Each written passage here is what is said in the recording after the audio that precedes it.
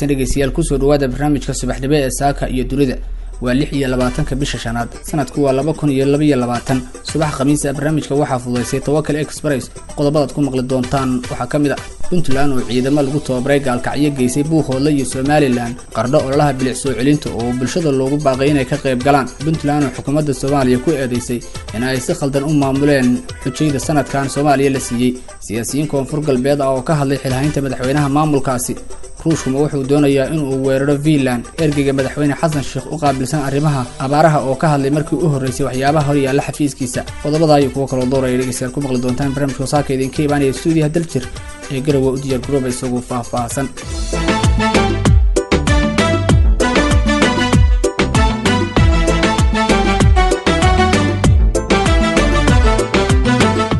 aan ku bilaaba dhegeystayaal sida hordhiciba aad ku maqlayseen. Puntland ayaa ciidamo dhowaan lagu tababaray magaalada gaalkacyo gaar ahaan xerada godad. Waxa ay geysay magaalada buuhoodle waxaana arrintaasi walaac weyn ka muujiyey maamulka somalilan warbixin amuurta ka hadlaysa waxaa soo jeedinaya cabdikhaaliq wadani wariyaha radio daljir ee buuhoodle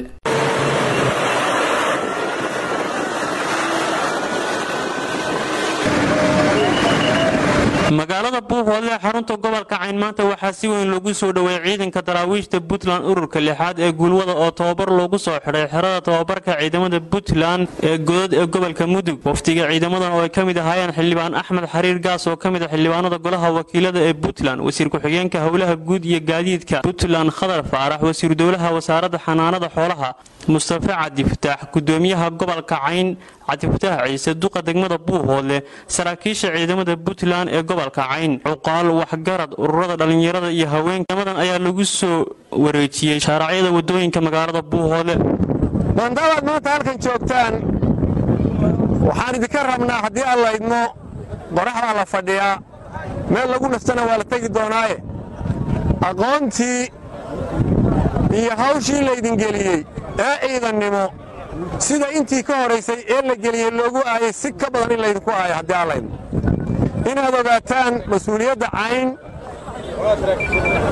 inaad idinku maanta bayskii labaad tihiin qaybta hore ee daraawiishina bayska saddexaad ay noqon doontay hadda diyaarsan haddii aan laydmo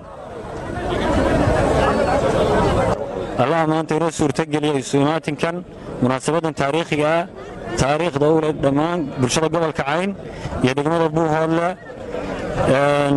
aan ku soo dhowaynayno ciidamada daraawiishta ururka lixaad tababar ku soo dhammaystay xarunta tababarka gudadle dugsiga tababarka gudadle gobolka midhig ciidamadan iyo saraakiisha hogaaminaysa xildhibaanada barasaabka iyo wasiirrada horkacaya waxaan leenahay ku soo dhowaada degmada buuhoodle gaara halkan ugu hambalyaynaya ciidankan maanta inoo soo qalin jabiyey ee ah ururkii lixaad ee la yidhaahdo guul wada magaciisa ee xerada tababarka ama dugsiga tababarka ee godad ka soo baxay oo ah ciidanaan in badan naawilaynay ciidankaas waa ciidankaanu in badan naawilaynay waa rajadii gobolkan. Waxaannu ka doonaynaa wax fara badan oo ka rajaynaynaa inay wax badan ka qaban doonaan gobolkan amnigiisa. Waxaannu rajaynaynaa inay ku dayan doonaan ciidamada cusub ee haddeer la xaraynayo. Isagana waxaannu ka rabnaa ururkan inuu ku daydo ciidanka ka horreeya booliska. Ciidankaas waxaad arkaysaan waxaannu filaynaa inay wax waxaan qabanayaan inay nabadgelyada qabanayaan. Ciidankaas iyo waftiga ballaadanba waa soo dhowaynaynaa boqolkiiba boqol waa ku faraxsannahay waad aragtaa shucuubta dadka iyo baahida loo qabo iyo sida loo soo bannaanbaxay ciidankaas sida roobkaadaannu u saamaalinaynay oo u sugaynay. Ciidankii ka horreeyey ee booliska ee loo soo tababaray gobolkan ee yimi wax wanaagsan buu qabtay. Waxaannu qiraynaa haddii aannu nahay odayaashii dhaqanka inay wax badan naga furteen oo xil ah oo aanu haynay iyo wax badanoo culays ah ciidankan dafcaddiisa labaad ee naloo soo tababaray ee noo timina waa ku faraxsannahay waan soo dhowaynaynaa boqolkiiba boqol baannu soo dhowaynaynaa sida roobkaannu u sugaynay salaan kadib ciidanka aynu sugaynay ee cusub ee tababarka soo qaatay ee aynu sugaynay baannu soo dhowaynaynaa waa dadkii lagu tabcayey ilaahay waxaannu ka baryaynaa subxaana wa tacaala inuu ka dhigo kuwa taya leh oo na anfaca oo haddeen idinkeeda leeyahay dalkooda iyo dadkooda u shaqeeya. Boqolkiiba siddeetan ay isku filan yihiin intaa ka dhiman hadda la qaadi doono si ay uga qayb noqdaan ciidamada difaaca gobolka cayn. Markaannu ciidankan qaadaynay ee ciidankan tababarkaan u diraynay ee aanu tiknikada uruurinaynay dad badanna waxaa lahay war raggii tiknikada kala reeba war raggii tiknikada ha kala reebo waa raggii lahaa tiknikadani maanta waxaan qiraynaa inay hubkaa ay wataan ilaa qoriga weyn ilaa ka yar ay maanta furfurkiisa iyo cilad bixintiisaba ay qayb ka noqdeen wax badanna ay ka barteen. Ragguna tiknikadaasaa ku soo tababartay. Ilaahay maadiga maanta la joogaa. Waxaan u mahad celinaynaa raggii nagu taageeray in ciidankani maanta soo baxo ee qurbajoogta lahaa ee tiknikadan qayb ku lahaa ee ganacsatada lahaa ee nafangaranaysay ee mas'uuliyiinta lahaa ee xildhibaanada lahaa oo u dhabar adeegay rag haddaan u dhaqaaqan hawshaan la dhaqaaqday aad baan ugu mahad celinayaa. Raggiina garab galay markaan wax ururinay. Iyadoo dad badan ay lahaayeen waxaan suurtoobi mayso guddida dabuliska ciidamada labaad mar labaad dib baan ugu mahad celinayaa. Buuhoodle iyo cayn waxaa looga baahan yahay dowladnimada inta ku dhiman inay ka qayb qaataan. Oo ugu horraysa cashuurta. Haddaan cashuur la helin haddaan weligan la biili maayo oo weligan layska soo wadi maayo gobollada kale ee puntland si iskugu filayn waxaanu ballan qaadna aniga saraakiisha iyo xildhibaanada wasiirku gobolkale inuu isku filaanayo cashuur ahaan nidaam ahaan dowladnimo ahaan. Buuhoodle guud ahaanba gobolka waxaan ka codsanayna meeshan lahaansho siyaasadeed bay rabtaa jeclo dowladeed bay rabtaa mid mustaqbal bay rabtaa. Gobolkan way maalgashatay si wacan bayna u maalgashatay wixii qaybo ee kala duwanna waa la ballan qaad xukuumad saddex sano iyo bar jirta oo tayantaa ciidamada iyo taakulaynta gobol wadda lama arag dowladda puntland ayaa mahaddaas kale iyo madaxweynaha dowladda puntland iyo shacabka. Reer buuhoodle oo runtii aad ula shaqeeyey ciidanka runtii ciidankani ma aha ciidan loo samaystay in deegaamo kale lagu weeraro in meelo kale lagu farfareeyo. Waxaan ugu baaqaynaa walaalaha deriska ah oo shacab kale in ciidankani uusan ciidan duulaan ku ahayn. Maamulka somalilan waxaan ugu baaqaynaa in uusan ciidankani uusan ku socon. Meel aan deegaanka ahayna inuusan ku socon. In nabadgelyada ay ilaaliyaan oo ay ka daayaan farfaraynta ay gobolka ku hayaan. Annagu uma soconno qurnuudna uma soconno caynamana uma soconno gobolka xuduudihiisa ayuu gobolkani ku socdaa oo ilaalinaya. Intaasna waa iga baaq weeye. Runtii maanta waxaan taagannahay haddaan reer caymeed nahay waddadii isku tashiga iyo iskaashiga iyo waxwadaqabsiga aynu cagta saaray. Waxaan leenahay waynu ka gudubnay waddadii halkan ka qadee fadlan ku shubo foofoo soo hoyo waan ka midownay. Maanta waxaan qaadnay waddadii isku tashiga iyo iskaashigaan qaadnay. Geela marka la waraabinaya waxaa loogu heesaa ninna dhuunuu kuugu dhaadhacay ninna dhalashuu kuugu dhabargoday. Runtii puntland waxa ay gobolkan ka qabatay waa wax muuqda waa waxaan u baahnayn in markhaati loo raadiyo mas'uuliyiinta gobolka. Ugu dambayntii wasiir ku-xigeenka howlaha guriyeynta iyo gaadiidka puntland khadar faarax oo wafdigan hogaaminayay ayaa goobta ka hadlay. Celiyo maanta waxay sharaf ku lahaayeen oo waxay mudnaayeen in bilado sharaf la siiyo. Laakiin maysan dhicin runtii oo weli innagoo dhan baa qabyaa. Hawsheenna waxaan rajaynayaa inay halkaa ka sii socoto. Weli maysan dhammaanin ciidamada fayskii labaad haddii ilaahay ka dhigo baa la qaadayaa insha allah taasina waa sii soconaysaa. Mar labaad runtii waxaan rabaa inaan u mahad celiyo maamulka puntland oo sidii asxaabtii iga ay ugu mahad celiyeen aynu wada ognahay runtii wuxuu ina ka mudan yahay iyo wuxuu inoo qabtay iyo wuxuu ina taray. Baa laga hadlay xaaladiisa gobolka cayn wax badan baa laga hadlay. Xaaladiisa insha allah waxaan rajaynaynaa maamulku inuu magaalada buuhoodla dhaafo gobolka cayn inuu wada gaadho cashuurtu waxa weeye ay soo wada xarooto xuduudihiisa la wada xidho ciidanku runtii waxa weeye intana way ka soo badanayaan wayna soconayaan insha allah shaqa wacanna way qabanayaan wadani warbaahinta daljirur buuhoodle warbixinta ciidamada buuhoodla gaaray ayaad dhegaysanayseen duqa magaalada qardho ayaa waxa uu ugu baaqay bulshada magaaladaasi inay ka qayb galaan ololaha bilic soo celinta magaalada qardho oo ka bilaabanaya magaaladaasi. Isagoo la hadlayay bulshada ayaa hadalkiisu sidan ahaa. Bismi illahi raxmaan raxiim alxamdu lilah suma salaatu wasalaamu calaa rasuuliillah waxaan rabaa halka inaan fariin uga diro dadweynaha sharafta leh qardhood waxaan bilownay qorshe aan ku nadiifinayno magaalada qardho oo aan ugu magac darnay ololaha qurxinta qardho ololahaas oo aan rabno inaan ku nadiifinno magaalada qardho maadaama wakhti roobaadka la joogo in muddo ana ay maaragtay magaalada gaab galay nadaafadeeda. Shirkaddu way dadaalaysay laakiin waxaa ka tiro badatay qashinka iyo nadaafad darada magaalada. Sidaa daraaddeed olole baan diyaarinay khamiis walba aan qabanayno uguna talagalnay inay ka qayb qaataan dhammaan qeybaha kala duwan ee bulshada qardhood. Hadday ahaan lahayd ururada haweenka hadday ahaan lahayd ururada dhalinyarada aqoon-yahanka shirkadaha bulshaweynta qardhood oo kala duwan oo qof walba uu ka qayb qaadan karo. Waxaan hogaamin doonaa ololahaas guddoonka degmada iyo golaha deegaanka codka shacabka lagu soo doortay wuxuu bilaaban doonaa beri oo khamiis ah bishana ku beegan tahay ka bisha shanaad. Waxaan ka bilaabaynaa toga u dhaxeeya xaafadda qoryacad iyo xaafadda xorgoble ee gufure ka dameeya iyo iskuulka shaafici dhinaciisa ah. Ololahaas wuxuu bilaabanayaa lixda subaxnimo oo beri ah. Waxaan rabnaa inaan halkaa nadiifino maada ay tahay meesha biyuhu soo maraan. Ololahaas waxaan ugu talagalnay inuu socdo maalin walba oo khamiis ah.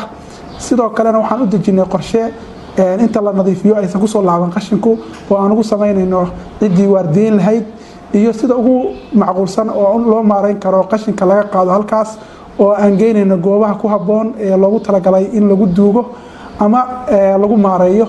Insha alla waxaan rabnaa magaalada qardhood oo qurux badan magaalada qardhood nadiif ah dadweynaha sharafta warre qardhood qof walboo qardho jooga. Waxaan ka codsanaynaa inay ka soo qayb galaan gaar ahaan shirkadaha magaalada waxaan ka codsanaynaa ka soo qayb galaan si guud buu u qabsoomi doonaa ololahaasu. Waana socon doonaa wax hadda keliya maaha. Sidoo kale waxaan rabaa dadweynaha qardhooda sharafta leh in ay qashinka ay saaraan gaariga iyo shirkada loogu talagalay. Shirkada waxaa jirta magaalada qashin ka qaada si fiican u shaqaynaysa shaqaale heegana leh guri walba kugu imaanaysa. Laakiin dadka waxaa la rabaa inay qashinka gaariga saaraan oo aysan dhigin muxuu ahay meelaan ku habboonayn? Aysan dhigin guryo kale. Waxaa xaaraan ah qashinka intaa gurigaa ka soo qaadid. Inaad guri kale dhigto waa xaaraan. Qashinku intuu ku jiro cudurka ku jiraa. Qashinka aan iska fogayno magaaladan aan qurxino adduunka ma jidho magaalooyin qashin saa u dhex yaallo. Keliya waxaa ku arkaysaa soomaaliya. Waxaan rabnaa marka inaan adduunka aan ku dayanno iskana nadiifino qashinka. Ummad islaamaynu nahay. Iimaanka barkiina waa nadaafada ah. Marka sidaa daraaddeed inagoo islaam ah in qashin meel kasta inoo yaallo waa wax laga xishoodo. Dadweynaha qardhood waxaan ka codsanaynaa inay ololaha ka qayb qaataan. Arrin kale oo aan rabo inaan raaciyo waxa weeye lambarinta guryaha lagu samaynayo adarayska guryaha lagu dhejinayo oo aan isagana dhaqso u bilaabayno waxaan rabaa dadka inaan ogeysiiyo inuusan lacag ahayn oo aan guriga wax lacaga laga rabin ee dowladda hoose iyadu maaragtay bixin doonto si free ana taarikada guriga loogu dhejinayo asalaamu calaykum waraxmatullahi wabarakaatu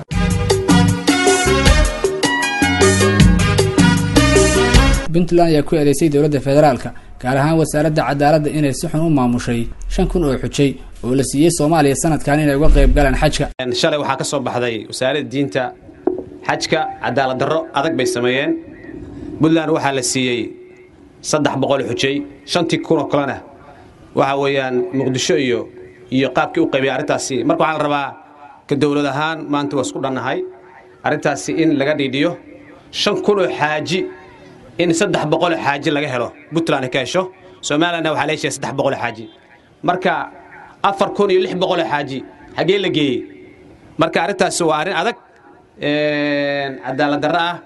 Marka in xujayada laftigeedu sababto waa waa waa waa rugn min arkaan islaama waay.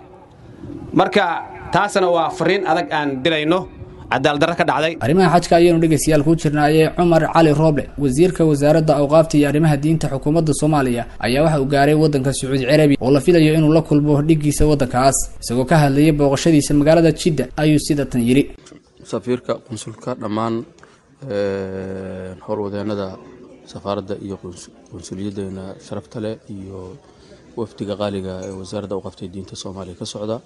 Mar labaad asalaamu calaykum waraxmatullaahi wabarakaatu alla ayaa mahadsan noo suurtageliyay inaan halkan ku nimaado si runtii nabadgelyo ah. Annagoo u soconna sidii aan u taabagelihaynay arrimahii xajka oo aad ka warqabtaan wakhtigiisa in la joogo. Halkaana aan ku nimiday istidaafa amba runtii ziyaara rasmiga ku nimiday oo wasaaradda dhigeenna aan maaragtay nagu casuuntay sida aad ka warqabtaanba markii xajka intaan la gelinin waxaa la isku waafaqaa qaabkii iyo wadadii loo mari lahaa. Labada wasiir ayaana arintaa kala saxiixata arintaa xajka ayaan u nimiday waxaad ka warqabtaan ummadda caalamka oo idil bisababi corona in oo ay xujaydu ay yar tahay. Haddana insha allahu qoondadii noogula talagalay aad ba u yaraatee. Mar hore ayayna soo gaartay. Haddana arrimaha adkayntoodii iyo gogol xaaridoodii iyo in xujayada soomaaliyeed ay markaan ay noqdaan xaajiga muslimka ah soo xajiya kan ugu sharafka badan dhinac waliba.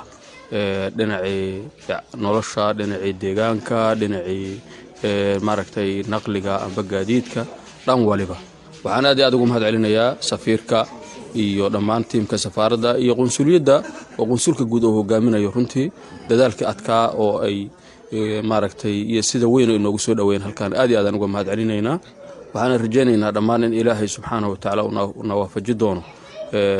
Khudamada ayaa nahay dhammaan oo khaadim baan u nahay duyuufu raxmaanka gaar ahaan xujayda soomaaliyeed in ilaahay uuna waafajiyo ayaan rajaynaynaa ducadooda. Ayakana in ilaahay acmaashooda aqbalo sida ugu wanaagsanna ilaahay xajka ugu suurtogeliyo maadaama ruknu min arkaan islaami uu yahay waa la kulmaynaa biidni illaahi tacaala waxyaabo fara badan oo baahiyo badan ah oo jira inaan kala hadalno ayuunu qorshahaynu yahay. Waana noo bilaaban tahay waana dhammaystirmi doontaa. Bicawnihi wa towfiiqi insha allah. Barnaamijka aad maqlaysaan dhegaystayaal waa saaka iyo dunida. Ergeyga gaarka ah ee madaxweynaha soomaaliya u qaabilsan arrimaha abaaraha cabdiraxmaan cabdishakuur warsame ayaa markii u horreysay ka qayb galay shir arrimaha abaaraha looga hadlayay wuxuuna ka hadlay sida ay doonayaan inay u wajahaan arrimaha abaaraha iyo fatahaadaha waddanka ka dhaca mararka qaar. Abaaruhu iyo biyobaxadaba waa laba arrinood aan baylaha u nahay. Bulshada soomaaliyeed ay baylaha u tahay marna inaan biyobaxo iyo ka barakacno marna inaan abaar iyo aafo abaar ka timid ayna qabsato. Labadaba midna waxay u baahan tahay waa asalka mushkilada oo dal soomaaliya oo kaleeto ah oo khayraadka ilaahay siiyey. Hadday tahay dhinaca webiyada hadday tahay badda hadday tahay macdanta iyo khayraadka ku jira inaan sanad walba marna barakacno oo ka barakacno biyobaxo marna aan ka barakacno abaar runtii waa asalka mushkilada in laisla fiiriyo u baahan.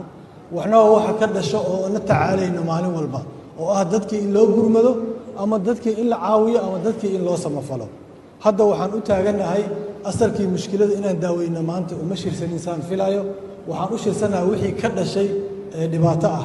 Inaan u gurmanno sidaas daraaddeed ayaa soomaalidu mar walbaba waa isbixi jirtay waxaan ku baxsi jirnay waa waxaan la yidhaahdo social valuega ama social capitalka waxa annaga laga dhawaajiyo ah isku damqashada iyo dareenka iyo ehelnimada iyo walaaltinimada oo ay asal u tahay diinta islaamka iyo dhaqankeenna ay asal u yihiin.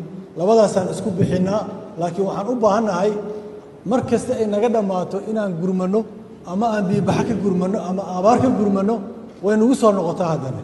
Marka taas nafteeda inaan su'aalo iska weydiino ayay u baahan tahay runtii. Waxaan aan ku xoojinayaa baaqayga intii iga horreysay ay ku xoojiyeen dadka ilaahay waxsiiye ee ganacsada ugu horreeyaan inay dadka masaakiinta ah la kaalmeeyo oo dhammaanteen aan u istaagno warbaahintana xoogga hadda waxay saaraysaa un keliya arrimaha doorashada laakiin inay ku soo jeediyaan dareenka dadweynaha u soo jeediyaan abaaraha oo shirkan iyo shirar lamida iyo sidii loo gurmo jiroo la yaqaano soomaalida siday isugu gurmo jirtay oo abaaraha isaga gurmo jireen oo biyobaxada isaga gurmo jireen runtii inaan isaga gurmanno waa loo baahan yahay ayada nafteeda oo aan mar kasta ahaano dad iskaalmeeya oo hadda waxaa la sheegay predictionka ama saadaasha inuu roobka gugeyo naftiisa oo yaraa doono inaan roobdoonka badinno oo culummada iyo dadka waxgaradka ah iyo dadka ahlowdiinka intaba ay dadka ku waaniyaan inaan roobdoonka badinno si ilaahay uusan nooga baajinin roobkaas guga oo aysan abaartu u gaarin macluul aysan u gaarin inaan gurmadka xoojinno runtii oo aan isku gurmanno intii tabarteenna ah dalkeenna hanti la'aan ma jirto xoolo la'aanna ma jirto deeq la'aanna ma jirto laakiin maamulkeedii iyo maaraynteedii iyo soo saarkeedii yaa naga maqan. Hadda ka hor aniga waxaan la kulmay anigoo abaar u gurmanaya nin shan kunoo neef aray iska leh. Shan kunoo neef oo ariyo haystaa ceel oo biyo ka cabana ama barkad oo biyo ka cabana ma haysto. Marka waa wax lala yaabo xoolaa intaas la eg. Qofkaas wax uu ku qabanayo. Oo abaartiyaana ka laysa. Xilligii abaarta aan la joogin ee aaranka la joogine wuxuu ka tabcaday xoolahaas ama uu kaga gaashaantay ma jirin marka dad wax haysta waa nahay dad hanti haystana waa nahay dad dhiifoon oo wax istarana waa nahay runtii hadda deeqaha laga sheekeeyey soomaalida beesha caalamka laga filayo waxaa ka badan oo hafa bilyan ama one bilyan ku dhow deeqaha ka yimaada dadka soomaaliyeed ee qurbaha ku nool ama inta shaqaysato isgargaartay intaba oo waxyaalahaan uga baxsannay oon aan uga soo harnay ummadaha kale ee dhibaatooyinka caynkan oo kale ay ku dhacaan. Gabagabadiina garowe shalay waxaa ka dhacday roobdoon alla looga baryeeyey inuu roob siiyo ummadda soomaaliyeed gaar ahaan ummadda puntland oo gobollo badan uusan roobku ka di'in. Suni gaagaab ayaa soo jeedinaya warbixintan. Kulankan oo ahaa mid roobdoon ayaa garowe lagu qabtay waxaana ka qaybgalay qaybaha kala duwan ee bulshada ku dhaqan garowe iyo madax sare oo ka socota dowladda. Dadkan dunida jooga ee arliga wada dawaafhaya nin waliba dan buu leeyihi iyo dooqu gooniyahe. Qofba wuxuu damiirkiisu faru u xusulduubaaye aniguna haddaan gabay damcaba amase deeleyba ma degdega ee waxaan door bidaa shay daruuri ah danta guudna waan kaga hadlaa meelaha u darane. Maantana waxaan doonayaa inaan duceeyaaye sacabada intaan kor u dallacaan daa'imow odhanne aamiinta uun iigu dara hayga daahine. Allahayow adaad diiqsiyaan duunya kaa madhanne qasnadaadu adigay daf tahay goor la doonaba eh. Adaa dunida keligaale iyo daarta aakhiro eh dhulka waxaa dul maray iyo wixii samada duulaya. Badda waxaa dabaashiyo wixii daaqilka u jiifa. Aduunbaa debera oo khalqiga daajiyoo wada eh. Wax dahsoon wax soo daahiray ama wixii duugan. Adigaan waxbaba kaa dadnayn daahna kaa qarine. Adaa waxa qalbigu doonayo iyo laabta daalacan qof tarjiiday adigaa cafiya oo dulqaad badane. Adigaa dembiga dhaafi jiray daayena bidkaaye waxaad doonta adigaa falaan daalin weligaaye adigaa daruuraha cirkiyo wada dabaylaae fadka da'aya adigaa amra oo dadka u shuba eh adaa doogga soo bixiya iyo daaqa xoolaha. Allahadow daruur khayr qabto uunka wada deeqda. Cirda roora madar soo degdegoon maalma naga daahin. Allahayow mid lagu doogsado dunida maansheeya allahayow dalkii waxaa ka jira gu'iyo dayrwaaye abaar naga da'weyn baa timi iyo duugma reebta ahe.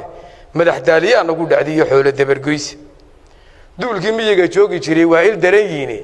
Iyada duunyadii iyo xoolihii daayey hadalkeedii dadkii baaba loo baqanayaa doorkan maanta ah. Allahayow daruur khayr qabto uunka wada deeqda. Cirda roora madar soo degdegoon maalma naga daahin. Allahayow mid lagu doogsado dunida maasheey xoolihii arlada daaqi jiray dabadhow weeyaane bakhtigoodii waa kaa dudada yaalla debedaaye. Waa kuwaa duleedada u wadhan sida dureentii laxdii duudka weyneyd iyo wankii doolokhiyo socoyi orgigii daloombi'i jiriyo ciida dood ma lehe. Loodii xoorka laga duugi jiray. Tiiday waa hore geeli hawdka dalandooli jiray daal la socon waaye. Dirgan waa dureemiyo markuu waayey darifkiiye mid waliba bartuu daaqi jiray buu duraaqsaday allahayow daruur caafimaad oo dalkaba gaadha oo daalka naga reebto iyo gaajada iyo diifta.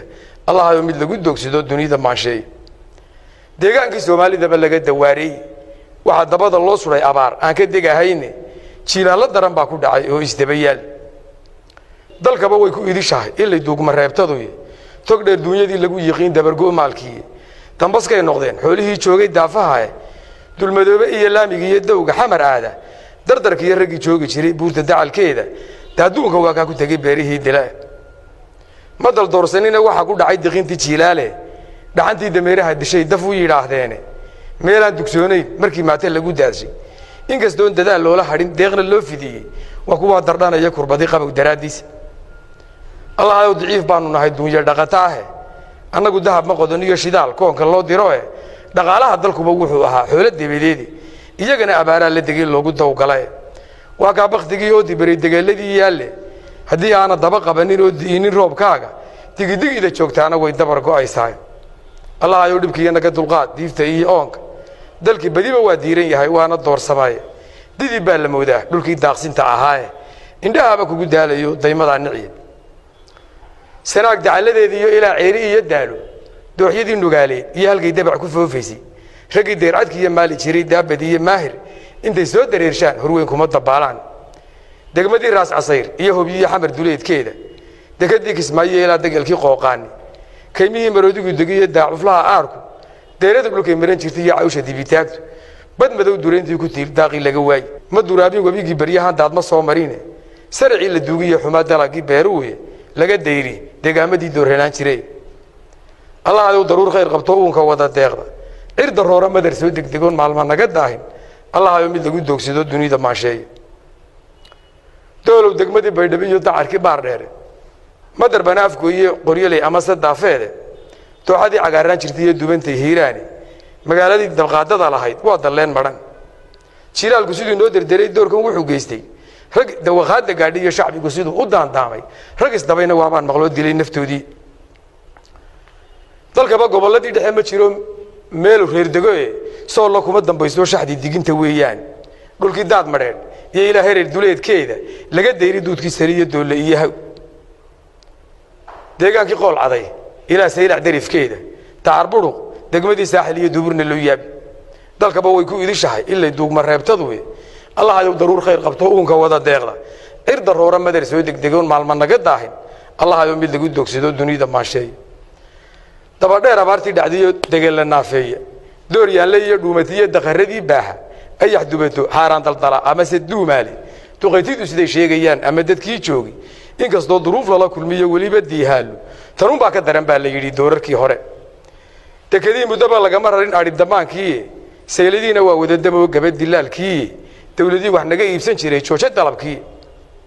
Inkastoon daroogadan jinniyo dadar ku eedeeyey doolarkiina waa kaakacee dhibay dadweyne. Allahayow daruur khayr qabto uunka wada deeqda. Cirda roora madar soo degdegoon maalma naga daahin. Maday dararay daysana gudguday gabadhle daanshooda dal dhammeeye deegaana bile daadku mulaciyeeyo daruur hibitiqaysoo tifloo duhurkii soo hoorta. Durguf kiciye daaduun hinjiye dabata nooleeye masaakiin dalqamiyiyo allow ducafo kaalmeeye allahayow mid aan danab lahayn dakhare noo geysta. Mid aan daad wax qaadiyo dhib iyo wada nin duufaano allahayow mid lagu doogsado dunida maasheeye allahayow mid lagu doogsado dunida maasheeye allahayow mid lagu doogsado dunida maasheeye aamiin aamiin aamiin gudoomiyaha gobolka nugaal oo goobta roobdoonta ka hadlay ayaa sheegay in dowladdu ku dadaalayso inay ka hortagto colaadaha iyo maandooriyaasha shacabkana ay garab uga baahan yihiin. Maanta waxaynu isu nimid inaynu ilaahay barino waa roobdoon oo ducaysanno waxaan ilaahay ka baryaynaa raxmad khayr qabta oo caama oo dad iyo duunyaba aan waxyeelin oo dhammaan ina deeqda ilaahay baynu baryaynaa. Waxaad ogtihiin miyigaynu ku tiirsannahay. Dad iyo duunyaba xoolihii abaar adag baa haysa. Ilaahay waxaan ka baryaynaa inuu na soo doojiyo raxmad khayr qabtayna siiyo. Aan waxayna yeelin sida horey ugu duceeyeen culimmada iyo mas'uuliyiintii baan ilaahay waxaan ka baryaynaa inuu na aqbalo innagoo ilaahay baynu baryaynaa ilaahay baynu hoos joognaa. Meelaha colaaduhu ka jiraanna ilaahay waxaan ka baryaynaa inuu fududeeyo naga dhammeeyo. Waxyaabahan fawaaxishka ah waa in laga fogaado. Maamulka xukuumaddu waa dadaalaysaa shacabkana waa u mahadcelinaynaa waa la shaqeeyaan laakiin waxaa la rabaa in la sii laba jibbaaro khamriga waxaa qaadaya waa baabuur. Guriga la geenayo innagaa iska leh dadka gadaya innaga weeye. Waxaa la rabaa laamaha amniga in lala shaqeeyo. Markaasuu boolisku wax qabanaya qof kastoo niga midana waa inuu isku xilqaamo inuu boolis noqdo oo la soo wadaago laamaha amniga uu soo sheego. Ilaahay waxaan ka baryaynaa raxmadda khayr qabta. Ilaahay inuuna siiyo oo aan dad iyo duunyaba waxyeelin ugu dambeyn wasiirka wasaaradda arrimaha gudaha maxamed dhimancad ayaa dadka ugu baaqay in la iscafiyo ilaahu rabbiyow ducada naga aqbal. Ilaahu rabbiyow raxmad soo degdegtana sii. Ilaahu rabbiyow raxmad soo degdegtana sii. Ilaahu rabbiyow dunuubta aan gelayno kuwii halkan laga xusay iyo kuwa aan la xusinba ilaahu rabbiyow noo dhaaf. Ilaahu adiga og qulubteeda ilaahu rabbiyow raxmad khayr qabtana sii ilaahu rabbiyow inta aan dunuubta gelayn quluubtooda iyo iyo wanaaggooda ilaahu rabbiyow noogu dambi dhaaf. Walaalayaalow waxaanu wada ogsoonnahay anu waxaanu dareensanahay mararka qaarkood khamrada inay jiraan xataa dhibaatooyin kaloo ka badan. Oo ay ka mid tahay aaladdan internetka la yidhaahdo sheekh maxamuud hadda ka hor baan ka wada hadallay iyo culimmo kaleba. Aaladda internetka la yidhaahdo waxay leedahay faa'iidooyin aad u badan faa'iidooyin aad u badan ayay leedahay laakiin waxay leedahay dhibaatooyin kaloo aad u badan oo bulshada dumiya. Waxaan xasuustaa siddeetameeyadii markii laga hadli jiray globalizationka waxaa la yidhahdaa ama dunida in laysu furo. Adduunka waxaa jiray dalal badan oo aad uga soo horjeeday arrintaas. Oo dalalka islaamka qayb ka mid ay ku jireen oo dalal kaloo badan ay ku jireen iyagoo diidan in dhaqamada laisdhexgeliyo hadda waxaynu wada ogsoonnahay globalizationka ama in adduunka laysu furo meeshii ugu sarraysay ayuu maraya taasna waxay dhashay in dhaqamadii ay isxulaan. Innagu dad islaam baynu nahay dhaqan le baynu nahay islaamiya muddo dheer soo jiray. Maxaa la yidhahdaa laakiin arrimahan isdhexgalka dhaqannadu waxay keeneen in dhaqandooris weyna ku socda aad u badan. Waxaynu wada ogsoonnahay khamrada waxyaalaha ay dugsanayso inay ka mid tahay in aaladahan internetka sida khaldan loo isticmaalayo dhallinyaradii iyo carruurteennii ay fasaad badan ku keentay. Taasna ay horseedayso inay fududayso khamrada inay fududayso macsida inay fududayso dhibaatooyinka kale ee laga baranayo. Marka shirkadaha sida gaarka u maamula aaladahan oo u sahlaya dadka waxaa laga rabay ileen telefoonku iskama wato waxaan. Waxay ku xidhan yihiin satellite satellite-kana shirkado ayaa gacanta ku haya oo inoo maamula waxaa la rabaa laftigooda inay ilaahay uga baqaan. Waxaan wada ogsoonnahay inay jiraan abab ama maxaa la yidhaahdaa aalado dadku ay isticmaalaan oo uga faa'idaystaan waxyaalaha badan. Qofkii raba inuu wax wanaagsan uga faa'idaysto waa uga faa'idaysan karaa. Laakiin waxaa jira dad dhallinyaro aad u badan oo si khaldan uga faa'idaysanaysa oo dhaqandooris uu ku dhacayo.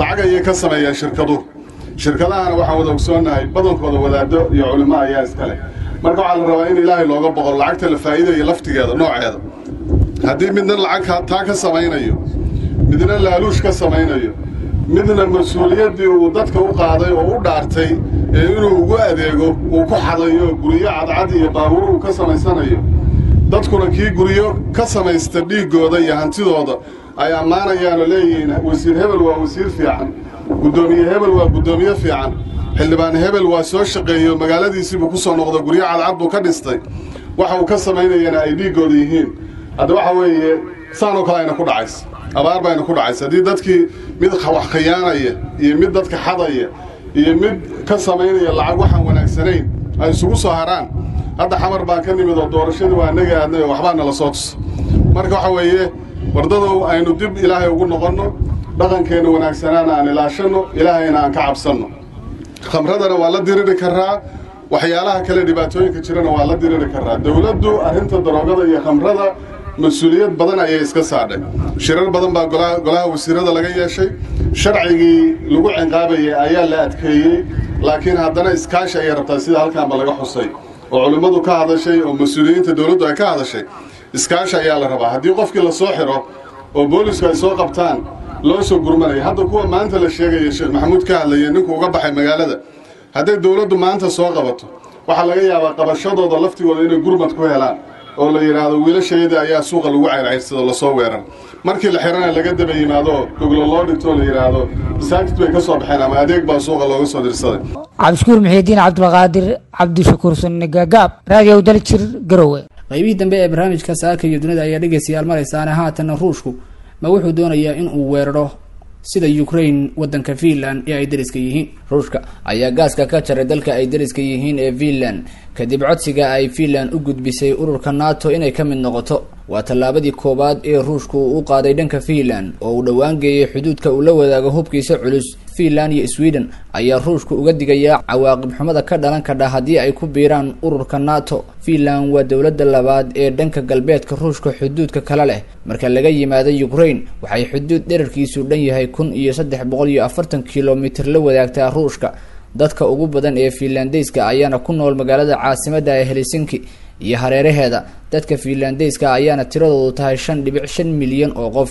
Waxay degan yihiin dhul qiyaastii gaaraya saddex boqol soddon iyo sideed kun afar boqol konton iyo shan kilomitir oo laba jibaaran oo leh xeeb dherarkeedu dhan yahay afar kun saddex boqol iyo konton mayl laba luuqadood ayaa looga hadlaa finland mid waa vanis midna waa swedish. Dalkan waxa ugu badan uu ku tiirsan yahay waa gaaska ruushka balse sanadihii u dambeeyey wuxuu dadaal ugu jiray inuu ka baxo ku tiirsanaanta gaaska ruushka kun sagaal boqol sagaashan iyo shantii ayay ku biireen ka mid noqoshada midooda yurub balse waxa ay muddo ka warwareegayeen in ay ku biiraan xulafada nato ama urur military oo gobolka ah hal caqabad oo weyn ayay wajahayeen finland iyo sweden oo ah inaysan isku fiicneyn xukuumadda ankara oo iyadu xubin muhiima ka ah ururka nato waxayna wadamadaani martigeliyaan xubno ay ankara doondoonayso oo ka tirsan b k k kuwaasoo deganaansho laga siiyey finland iyo sweden.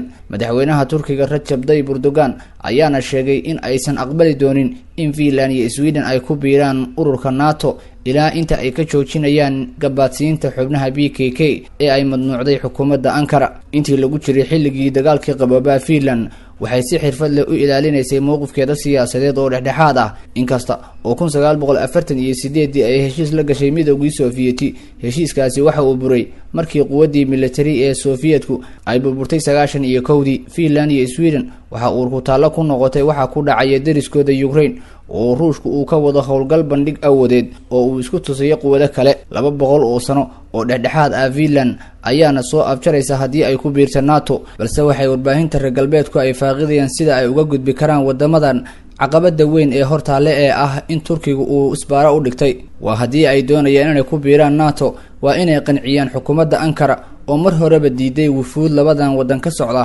oo tegi lahaa magaalada ankara. Madaxweynaha turkiga ayaana ugu baaqay inaysan isi soo dhibin ilaa inta ay soo dhiibayaan xubnaha b k k ee ku nool stockholm iyo helsinki. Qaybihii dambe ee barnaamijka saaka iyo dunida ayaynu dhegaystayaal soo gaarnay haatana ciyaarihii. Horyaalada qaaradda yurub oo dhammaantood lagu kala baxay ayaa horyaalkii u dambeeyey ee premier leaga waxaa ku guuleysatay kooxda manchester city.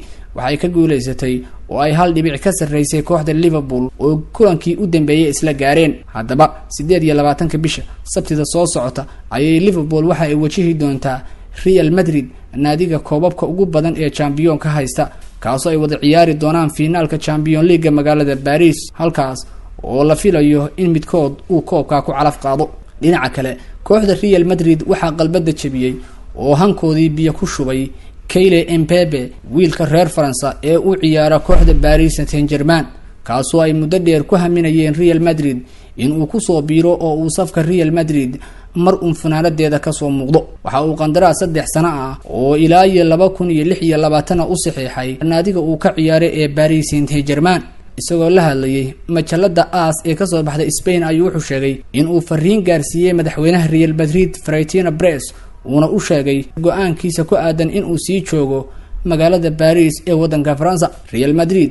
Weli kama aysan hadlin go'aanka kayle embebe laakiin waxa ay filanayeen inay xagaagan ku dhawaaqi doonaan saxiixiisa oo u noqon lahaa saxiixii ugu weynaa ee ay sameeyaan xagaagan.